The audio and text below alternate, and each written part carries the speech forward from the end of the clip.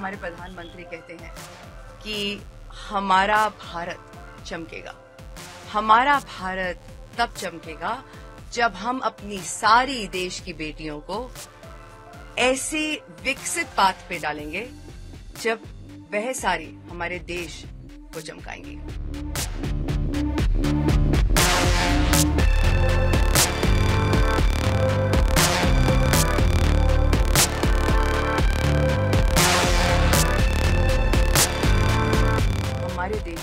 हर एक भारत की बेटी को अधिकार है अपने सपनों की ऊँची उड़ान करने का। और उसी राह में मैं हर एक भारत की बेटी को सक्षम बनाना चाहती हूँ कि वह बगैर किसी डर के, बगैर किसी सोच के सपने देखे और उसके बाद मेहनत करे और सपनों की उड़ान, ऊँची उड़ान भरे।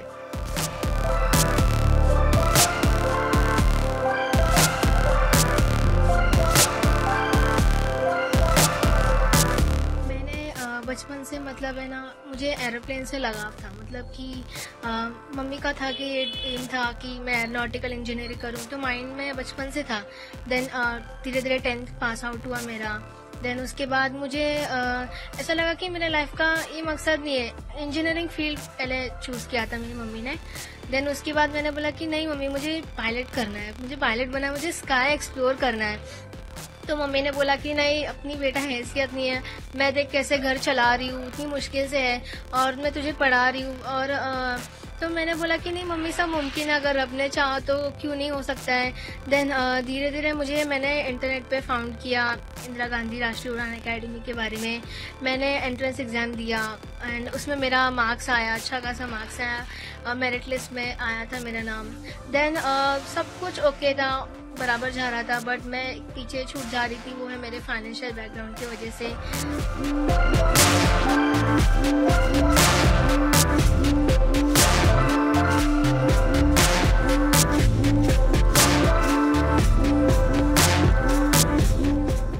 इंस्पिरेशन तो जोया मैम है।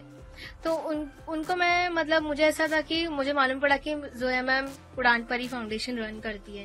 तो मैंने पाँच दिन मतलब एयर इंडिया के इधर चक्कर लगाए उनको ढूंढना था मुझे। तो बहुत ये किया।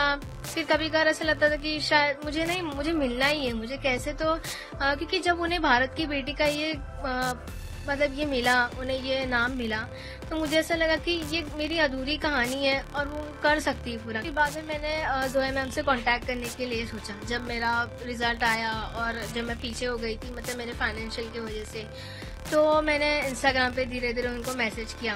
फिर देन मैंने उन्हें ईमेल किया। ईमेल पे वेट किया तो उनका मैसेज आया, उनका रिप्लाई आया देन मुझे उनका कांटेक्ट नंबर मिला। तो उनसे बात हुई। वीडियो कॉल पे मैंने पहली बार उनसे बात किया था अक्टूबर के मंथ में।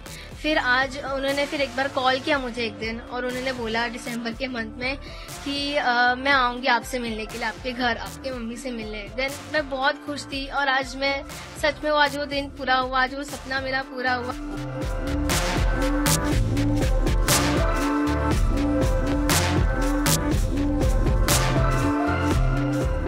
भारत को शाइनिंग इंडिया बनाने के लिए नारी शक्ति।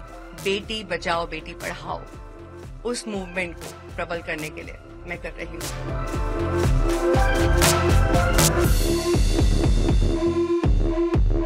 If you like this video, then like, share and subscribe to Mirror Now.